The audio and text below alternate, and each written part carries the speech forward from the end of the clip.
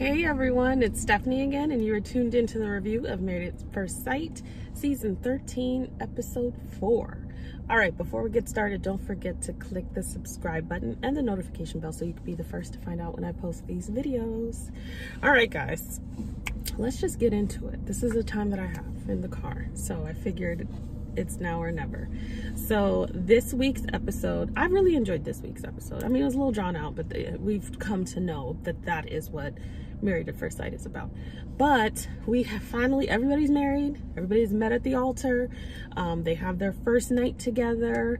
They get to have um, brunch with each other's family members and friends and then they all go to the honeymoon and it pretty much ends with the first night at the honeymoon kind of just getting settled in um, so let's just kick it off with Merla and Gil so Merla and Gil listen I feel Merla and Gil for me is like the calm before the storm type of couple um, simply because I just see like red flags that I don't necessarily think is going to make for a long lasting relationship. Like I could see where they could be good together, but I don't know that either one is really going to make the effort to really stay together, stay the course. Um, but right now, Merla and Gil are pleasant to watch. I think they get along well. They're both attracted to each other. They're both attractive people. Um, they get along. They have little banter. He kind of already knows that she's kind of like um, sassy. You know, she's sassy. She's gonna push back a little bit. He he likes that. There's a part of him that likes that. Um, he's not thrown off by her independence. Um, you know they they're they're cool. I think they're happy right now. Um, they obviously know that there's like little stuff that's like okay wait a minute that may not work long time long term but so far so good. Um merla and gil the night of the wedding get to the room they kind of relax a little bit and a big commonality that they find that they have is both of them are missing their fathers. Um, and they both have fathers who were unfortunately murdered. So when I when I saw that part, I was like, wow, it's really, really uncanny how they were matched together and they have a very similar trauma like they both have the loss of their fathers and and that's huge in itself but also the way the unfortunate way that they lost their fathers through such violence. Um, a lot of people can identify with that. So the fact that they can come from the same place in that way is definitely going to be a trauma bond for them.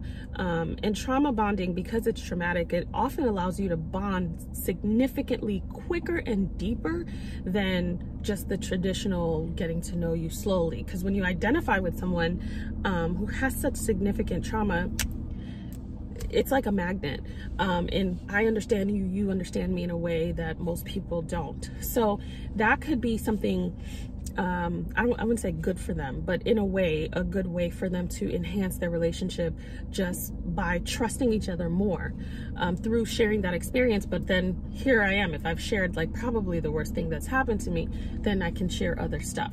Um, Gil shares it that night. She shares it the next morning.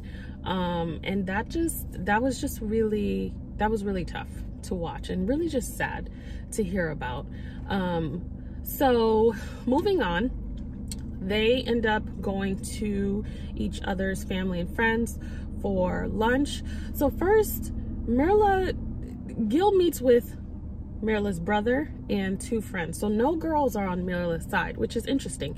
It made me wonder um, what her relationship is like just with women and and that dynamic is there trust issues what's you know what's going on there's something there she did have bridesmaids so she has female friends, um, they went you know, dress shopping with her. So maybe they weren't available for that lunch. But it was just interesting how Gil came in and sat with three men, one of them appropriately being her brother. Um, and he kind of sat there like, oh, this is this is gonna be cake because, you know, it's three guys and they're like, you know, like the, the music changed. Like, no, it's not gonna be cake. Um, so I um I thought it went well, you know, I thought Juan was like, listen, and he did what a brother would do. I have a brother, he would do that. Like, if you stay on course, we're good. If not, then you will see a different side. I feel like that goes for saying, that goes, you know, that saying goes for anybody who has someone that they care about and they're kind of trusting you, especially in a situation like this where we really don't know you, you know? Um, so his, her friends asked other questions and kind of said, hey, if you're going to be committed to this process and genuine, if you, you know, do and, and be who you say you are, then you'll be fine. So that was fine. Um, you know, Merla met with his, I don't think it was his mother, um, a friend, I think two friends. Um, I don't know where Gil's mom is. I don't know if she was at the wedding. I know Merla's mom was at the wedding. Um, Merle, I mean, it was an okay brunch. It was fun. It was lighthearted. You know, Merla kind of comes off um, a little bratty. You know, I whine, I have tantrums, I'm going to do whatever. I, that probably will get on, is it Merla or Myrla? Because I keep saying Merla whatever.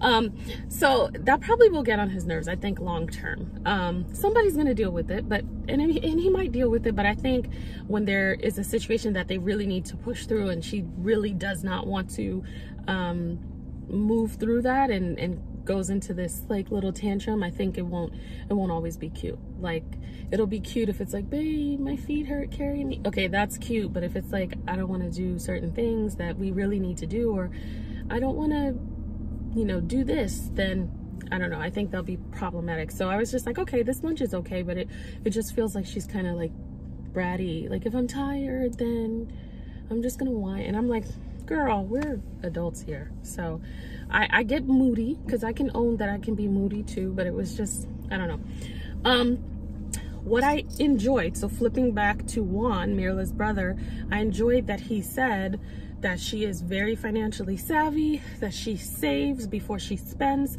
because once again, Myrla gets this bad rap for being high maintenance or spending on purses and shoes. The way that I feel about it is like, if that's not what you like to do, don't do it. Um, people tend to project uh, what they think or what they would do or what they can't do or whatever, what they are doing onto other people. And it really isn't fair. Now, is she someone who is not taking care of herself or being irresponsible and or demanding it from someone?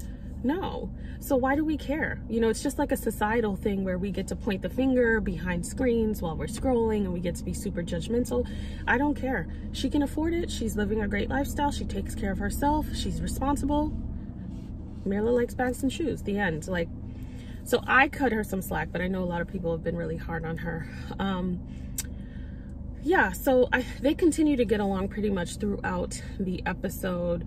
Um, and you know, I think I so far so good. Okay, you know the little stuff that happened at the uh, resort where she complained mostly about the accommodations. I don't know. I wasn't impressed with the accommodations either, but I live in South Florida, so I have seen stunning, stunning, beautiful things beautiful places, beautiful accommodations. And when you think of honeymoon, you often think of like, oh, it's just this. Well, a lot of people, I won't say you as in everyone, but a lot of people kind of think of like, this is the the time that we're going to be maybe a little more indulgent. So I wasn't impressed either. Um, definitely, you know, was edited to where she was just like a wet mop about it and he was just like really happy about it. But we're already seeing the differences and how he's like, wow, this is great. And she's like, oh, I don't like that. I can't see that. It's dark. It's murky. And so sometimes how we do some things is how we do all things. So her perspective might be more negative at first, more glass half full possibly, and his might be glass half um, no glass half empty for her and his might be glass half full. Um, another thing we see with them is the money being driven by money. Um, i don't think either one is wrong as long as you don't value money over particular things. And what you identify to be really important or do immoral or illegal things for it. If she was really poor money drives her because i mean we can do the math here. We see why money drives her. Um, now, if it becomes more important than her spouse or her kids or people, then that's a different story. But it made, you know, made very perfect sense why money drives her. Um, he's on the opposite end of the spectrum though. And so probably he has a different um, upbringing, a different relationship with money. And that's really important. Not only when in relationships, not only when you're discussing finances do you discuss the actual finances? We we just think of discussing the number. I make this you make that. How do you spend this? How do you want to budget that? But it's about your relationship with um, finances which really comes from like how you saw your parents deal with it um, and then you interpret it in your own way and also your own experiences. So there's a lot that they can do there and that would be like a great mediation for them um, to be able to have that conversation about why money drives her, why money doesn't drive him, what it drives, what drives him, and then how they meet in the middle with that. And they may not. They, they may not ever meet in the middle because if you don't have a particular experience, then you won't ever understand it from that perspective. So if he didn't grow up um, in poverty, then he's never going to be driven in the same way because he does not have that experience, and vice versa. Because she did grow up in that way, then she's going to value it in a way where she doesn't understand where he's coming from. So you can always also agree to disagree, but also set some boundaries within your relationship. So that's Merla and Gil. Next, we have Michaela and Zach, who got in the sack. I just came up with that, guys. Um, no surprise there. because Michaela was getting it in like five minutes before she got that phone call that they were, um, you know, that she was chosen. So um, no surprise there. They also have like a very explosive chemistry in terms of like really being attracted to each other and not being shy about it. Um, so I, there was no surprise there. I, I mean, I don't know what whatever this is the part where it's kind of like up to each person if people don't have sex on the first night on this show um, it doesn't bother me once. I don't get into the oh well that's her husband or that's his wife. So they have to. They met five seconds ago. Do I like when they go so slowly and it's like six weeks in that we still can't give each other a kiss? That's a little weird. You probably shouldn't have tried out for this. But you know to each their own. If they move quickly um they have that right. However, I will just say that, in my opinion, um, lust often distracts us and creates this inability to be able to see um, some things because we're so blinded by it. So that may be a problem in the future for them, just jumping in so fast. Like, I don't think anything's wrong with it. I'm just saying, if we're thinking about it, um, jumping in so fast might might hinder um, the ability to see. And I think that not only in this experience, um, in general, you know, how many times have people gotten caught up in the lust of it and it extends the relationship or it creates a relationship that never should have been created simply because the sex is great. Like, so that's, that's the thing. But no surprise there. Um, they are still super cute together. Um, her didn't, her, uh, brunch with his family was very sweet. The fact that his uh, dad asked her to dance that was that touched my heart guys. That really really did. Because if you know me and you know my history then you know why. Um, but it was very very sweet. And that is such a like a family gesture you know like if you were sitting somewhere and it was like dads grab your daughters. Your uncle would grab you or grandfather or you know godfather. That was just such a sweet thing for him to take the initiate the initiative to do and make her feel welcome. Um, mama has spoiled them boys because it's obvious. Like dad is like throwing shade. They're mama's boys. Um, but they have a sweet disposition. The brothers are all in. Like everyone seemed um, engaged and kind of like we we love him. We care about him. And he has a family unit that supports him. And we're we're bringing you into our family but we want to know that he's with someone who cares about him and who's here for the right reasons and who is serious um, I love that dad asked, how do you um, handle conflict resolution? And she was honest in saying, listen, I didn't get the best, um, I didn't get the best example. Her answer was like, I don't know. Her answer was like a great answer, but I don't think it was like a real answer because all I kept thinking was like, I've heard about Hurricane K. So I, I don't know that your conflict resolution is probably as prim and proper. She said like what you should have said.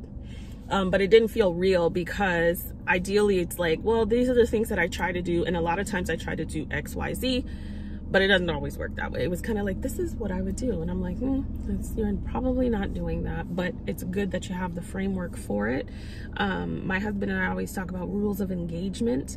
So when you are angry, have some rules as a couple that you set in stone so that if and when you do pass it, you at least know that it's there. Like, draw the line. You don't know where the line is if you never draw it. So it's not to say that in a heated argument you won't cross a boundary, but more than likely you won't. And if you do, then you recognize it and then you can, you know, go back and, and handle that. But a lot of times, if you've set these parameters, then unless it's just one of those arguments where it's just you can't calm down a lot of times you will set the parameters and you will feel the parameters that you're getting close to them. So that's just really important if you haven't seen um, you know healthy conflict resolution. That's just something. Set some rules so that you know hey this is not what i want to do. And if we get to this certain point then let's you know let's cut it or let's do xyz or here's the things that we don't want to do um, so that's that. Uh, Zach meeting with his sisters. I think he, meeting with her sisters, I'm sorry. I think he fits right in with them. Um, once again, they let it be known, hey, we've protected her. She's the baby. She's always had someone. And I don't think she even realizes how much she's had someone because when we're all adults, we're kind of like, I'm an adult. I'm doing things myself. I'm handling myself. But you, you never know how dependent, and not in an unhealthy way, just the dynamic you are with your siblings and always knowing that they're there. So in a way, you are always protected whether you realize it or not. So here, we're handing you our baby essentially. I mean she's our sister but she's a baby sister and we've all kind of looked out for her. Um, so you know um, look out for her and him asking hey what's the best way? What advice do you have for me? I think that is the the best way to go about it. I really do not like when i think married at first sight needs to stop like forcing these let's tell them the bad stuff you know? I think it's really important for good advice. Like when her sister said hey if she's passionate about something if she's excited about something be passionate with her like because it, it it's important that you're excited with your spouse. That's that's huge and that's something that a lot of us can work on like not just getting so used to kind of the voice of your spouse that you kind of drown it out and you're like okay but like really okay they're really excited that's something that we can work on that's good advice versus like she's messy she's crazy he's you know which which we get in the vows and they're supposed to be cheeky and funny but they really just create this thing where you start looking for this stuff so I, I wish they would stop doing that because I think it's stop doing that because I think it's more detrimental than it is fun or helpful. Um, so moving on, we have Jose and Rachel. And they make me think of the point that I just made because when Jose met with her family, you know, she they kind of said, "Hey, uh, she she kind of holds on to things with the mental notes things, and she's a complete mess." And you know, Jose is like super organized and a, a neat freak, so that starts freaking him out. I feel like little things like that just let them find out on their own. Let him get into her dirty car and he'll know it's dirty when he gets into it. But let's not really set the tone the night after they meet each other for the, for the first time with all this stuff. Let's give them advice that would be beneficial. Um, like when she meets with his family hey he's really serious about his finances he has an excel sheet like you know financial um, responsibility is really important for him. That's important because finances are big okay? Um, so that's better advice to me than you know what?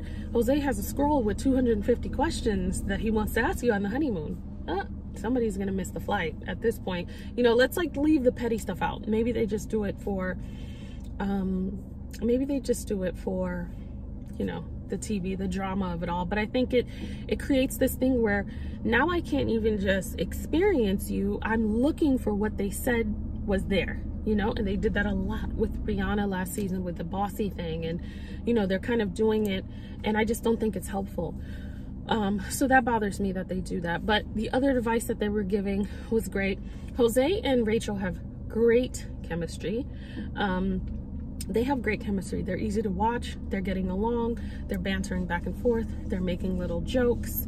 Um, you know, when she's hyper focusing on this is going so well that it's too good to be true, it's very um, reflective of how dysfunctional we have become in, in relationships that we don't recognize when it's a good one. Now, I'm not saying that this one is perfect, but in seeing her say that, I've seen so many people say that. And it's simply because they have not learned how to engage in a healthy relationship. And so when they get to one, it doesn't feel right because the comfort of dysfunction is what they're accustomed to. So it's really important, and I give that advice for you all. It's really important to manage um, healthy relationships by recognizing you know the the part that you've played in dysfunctional relationships whether you were acting in them or allowing them to occur and sit in the discomfort of a newly healthy relationship. Well what's wrong with them? Like it's fine now girl. Like something will happen because that's life and relationships and you'll be fine um, but just looking for that that's that's something that a lot of us have probably done where we're like oh this he he showed up on time he called me back and it's like you're so damaged by past relationships or that that you can't recognize when what's supposed to be happening is happening so that's my little two cents for Rachel and Jose. Um, probably other stuff happened, y'all, but I don't even remember. I just wanted to share that because that was something that really stuck out to me. Um, so next we have Brett and um, Brett and Ryan. Brett and Ryan. Um, this week felt a little awkward. Did it feel awkward for you guys? Ryan's um, lunch with with her family felt a little awkward, but I guess what we're picking up on is that Ryan is shy. So um, that kind of quiet nature or not really knowing what to say or not really filling in the silence or um, just saying, you know, redheads are either attractive or not.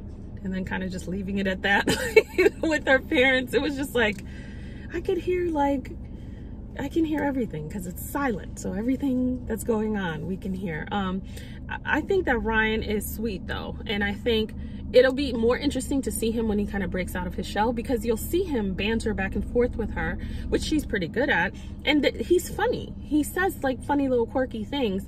Um, I can't read Ryan fully yet because we know Brett is not his type. Um, and I think navigating that is going to be interesting. He even said, hey, you know, if, if I went on a date and someone acted like this on a plane, then there would be there wouldn't be another date. So we're gonna have to see because ryan is quoted as the serial dater which i think he jokingly said there's some small towns he can't go back to right? So he even identifies as a serial dater. So we're really gonna have to see how he does moving forward um, because he's sticking with it right? He's married he is committed he said listen i don't want to do this again when he when he was talking to her parents um, so it's going to be interesting to see how he sticks with it and navigates someone who isn't necessarily his type, but he's attracted to and he's enjoying. Same thing for, um, same thing for Brett.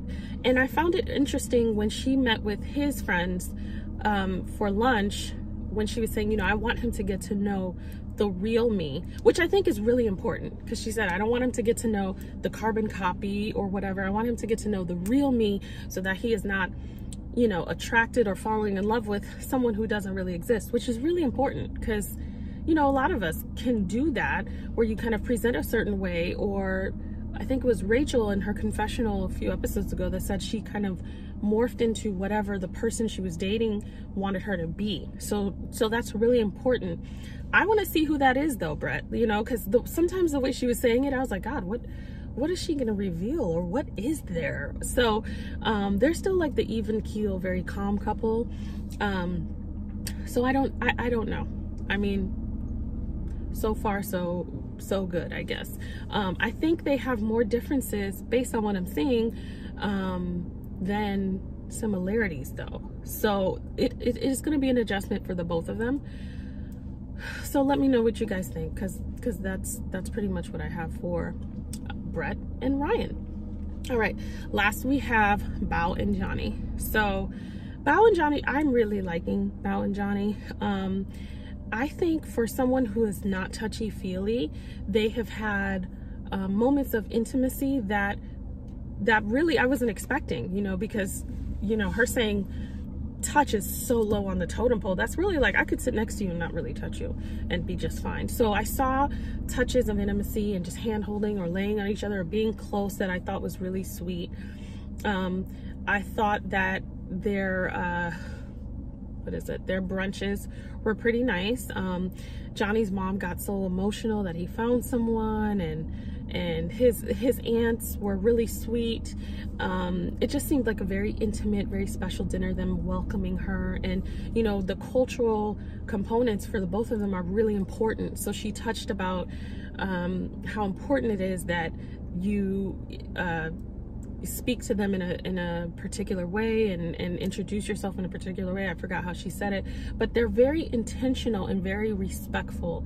And it's not just about them as it is just their culture as well and wanting to represent that in a very important way. So I think they're taking this very well. Um, I don't know. At the end of that brunch, though, when his aunt kind of joked about him being a stay-at-home, a stay-at-home dad, um, you know, Bao didn't laugh at that. So I, I don't, I don't know what's going on with that. I don't know if she just threw that out there to like freak her out or if that's something that they've discussed and that's what Johnny wants to do. I don't see that Johnny wants to do that, but it was just funny because she was like, like, okay. And then it was like, cut, let's break. So, um, that was sweet uh, seeing Johnny kind of talk to her brother and her friends, uh, that was really good too, and really getting into it. The friend didn't let him up. Like, okay, if you're a serial dater, because essentially Johnny said, yep, yeah, I'm gone on a lot of first dates. How could you be married? Like, you know, let's have a real dialogue. How could you be married? What's going to be essentially different about this? And he says, because I can't leave. I'm committed. I'm married. And with a first date, you can leave. You don't have to have a second date. Um, they also talked about Bao's response to his uh, gift and um, her, like, her getting really worked up. I thought that was a horrible gift, guys. I, I did. And for a woman that you don't, I feel like sports stuff is only a shoe-in for a person that you know enjoys sports. Um, he didn't know her. I feel like just take a safer direction. Um, and that would have landed a little bit better because if I would have gotten a sport thing, I would have been like, literally would have been the look on my face. I would have been like, really? So this is what I'm possibly gonna have to deal with the rest of my life like there was not something sweet and maybe sweet and thoughtful for him but once again you don't know this person therefore it doesn't land the same um but yes, Bao did get worked up. She barely almost made it down the aisle, but um, it was interesting that he said that he hopes that she doesn't get worked up like that. Um, and we'll see. I think Bao has the potential to get worked up like that over little things, but we'll see how they navigate that. And it was very cute how they were going back and forth with um, her Excel sheet and packing and how, you know, he has these lists and she's like, one upped him times 10 with an Excel sheet. So I th thought, thought that that was funny. The best part for me, honestly, was at the end where they were talking about sex in bed because not not necessarily because they were talking about sex but it's a it was a great picture of how um some someone who's the opposite of you can help open you up and can help you evolve um, she said, hey, I am, but he, he's doing it in a respectful way where he's kind of like just checking to see if you're open. He is your husband now, but not necessarily pushing you. And um, I thought it was like a good example of how they could really grow together because he is saying, well, you know, I want to take it slow. I want to be respectful. So he is recognizing her needs. I want to take so I want to be respectful. If there's anything that you're ever uncomfortable with, please let me know. She really is appreciative of his respect for that. So now he's gonna now she's gonna give him some of his needs, which is answering that question. We've seen people in the past like clam up about sex or even if there's a question they don't want to talk about it. But his approach and her comfort level made her say you know what? I normally doesn't don't talk about this but let me just okay this is what i like. And then they start joking about what they like and what they don't like. And then guess what? Guess who doesn't need a body pillow as a barrier? Bao doesn't, you know, and it's sweet and it just showed evolution um, and, and then the ability to kind of meet each other, even if you aren't in the same place. Um, and I'll close with this last not last year like many years ago i was listening to a sermon called um, god's perfect plan for marriage and i never forgot the pastor saying um, the perfect marriage, which there isn't, but he was, you know, that was the name of the thing. The perfect marriage is two servants in love because if they're always working on serving each other, i.e., giving each other their needs or working on it or acknowledging it, then they won't ever be empty. Because if you're pouring into your spouse and your spouse is pouring into you and that's the focus, then you'll be willing to kind of continue to do the same. So you see pouring in, pouring in, like we're meeting in the middle versus pouring in and not getting anything or pouring in, not getting anything or like completely disconnected because I'm over it, you know? So I think that's really important. And I thought that that was a beautiful example of that. All right, guys. that's it. I hope you enjoyed this review. As always, do not forget to subscribe, comment, and share. And I will talk to you guys next week. Everyone have a wonderful weekend.